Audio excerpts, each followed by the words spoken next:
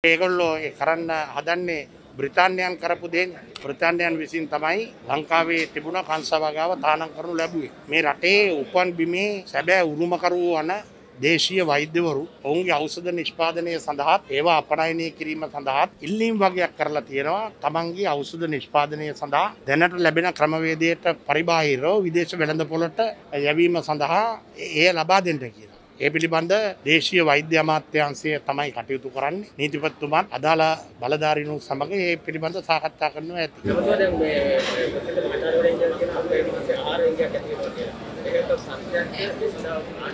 ඔව් එතුමිය සඳහන් කරලා තියෙන්නේ ඒ සඳහා නිසි ක්‍රියාමාර්ග ගත්තේ නැත්නම් ආරංගියක් ඇති වෙනවා කියලා.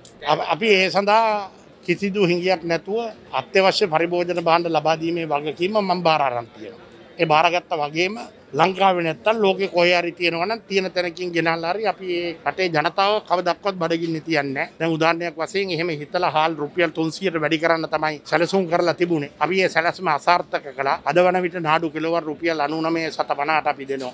හෙට මේ වන විට හොඳම වර්ගයේ සම්බා රුපියල් එකසිය තියකට අලවි කරනවා. ඉස්සෙල්ල තිබුණ චෝදනාව සතස මගින් මේ බහන්ඩ අලවි කරන්න කිලෝ තුනක් කියලා. දැන් කිලෝ පහක් ගන්න පුළුවන්. නාඩු කිලෝ පහකුයි සම්බ කිලෝ පහකුයි ගත්තොත් එතන කිලෝ 10ක්. ඒ වගේම ඒ සමග ලබා ගන්න පුළුවන් බහන්ඩ වර්ග 55ක් තියෙනවා වෙළඳ පොලේ පවතින මිලට වඩා අඩු. සීනි රුපියල් 125ට තියෙනවා. මේ මේ දෙසැම්බර් 31 වෙනකන් ඒ මිල මම පවත්වාගෙන යන්න බලාපොරොත්තු වෙනවා. ඒ වගේ ඉදිරි කාලය තුරදීත් ඇතිවන තත්වයට අපි අතිකරු ජනාධිපතිතුමත් කැබිනට් මණ්ඩලයත් මැදිහත් කරගෙන අත්‍යවශ්‍ය පරිභෝජන භාණ්ඩ මේ රටේ ජනතාවට එදිනෙදා ජීවත් වීම සඳහා අවශ්‍ය කරන පරිභෝජන භාණ්ඩ ටික කිසිදු හිඟයකින් තොරව ලබා දීමේ වගකීම රජයක් ලෙස අපි නියත වශයෙන් ඉෂ්ට කරනවා. ඔබතුමා ඔය කියන මේ මේ තාරතරත් ඊයේ උත්තරයි කියන්නේ සාමාන්‍ය වෙලද නෑ ඉතින් ඔබතුමා යන්න ඕනේ බලන්න නිකන් පොඩි දරුවෙක් වගේ කතා කරන්නේ නැතුව දැන් සතෝසෙකට මේ යන පාර යන්න ඕනේ. ඒ ලෙවල් එක තියනවාද කියලා අහන්න ඕනේ. එහෙම නැත්නම් ඔබතුමාට පුළුවන් දුරකථන අංකයක් 1998ට කතා කරන්න.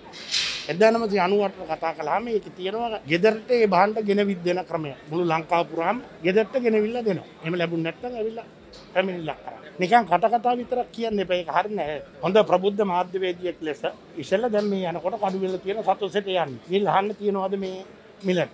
ඒක නැතිනම් මට දැනුම් දෙන්න. එතකොට සමහර වෙලාවට භාණ්ඩ ලංකා පුරාම් 500කට බෙදෙනකොට හිඟ වෙන්න පුළුවන්. ඒ තැනට අපිට ගෙනින් දෙතයි. දැන් ඕක අමතුමා අපිට කරන්න පුළුවන් සාමාන්‍ය ජනතාවට ඕක කරන්න පුළුවන්නේ ටෙලිෆෝන් එකක් කරන් 1998ට පණිවිඩයක් දෙන්න පුළුවන්නේ නේ. ලෝකෙ දුෂ්කරම අවස්ථාවක් නේ. ලෝකයේ මුළු ලෝකෙම ආරිංග වෙලා ෆැක්ටරි වහලා ලක්ෂ ගණන් මිනිස්සු මැරිලා මේ ලෝකයේ වසංගතය. ඉතින් මේ ලෝක වසංගත තත්ත්වය තුළ මුළු ලෝකෙම ලෝක ඉතිහාසයේ නොවුණු පරිදි නිෂ්පාදනය කඩා වැටිලා සැපියුම් ක්‍රියාමාර්ගය අඩපණ වෙලා කන්ටේනර් ගාස්තු 110 ගණනකින් වැඩි වෙලා නැව් ගාස්තු වැඩි වෙලා නැව් වෙන්නේ නැති වෙලා මුළු ලෝකෙම කඩා වැටිලා තියෙන්නේ. බඩගින්න මන්ද පෝෂණයේ දුප්පත්කම වැඩි වෙලා. ලෝක ව්‍යසනය. එහෙම එකක් 1930න් පස්සේ ලංකාවේ ඇති වෙලා නැහැ. ලෝකේ ඇති වෙලා නැහැ. දෙවෙනි ලෝක යුද්ධෙවත් මේ වගේ තත්ත්වයක් ඇති වෙලා නැහැ. ඒක තමයි ආර්ථික විද්‍යාඥයන්ගේ මතය.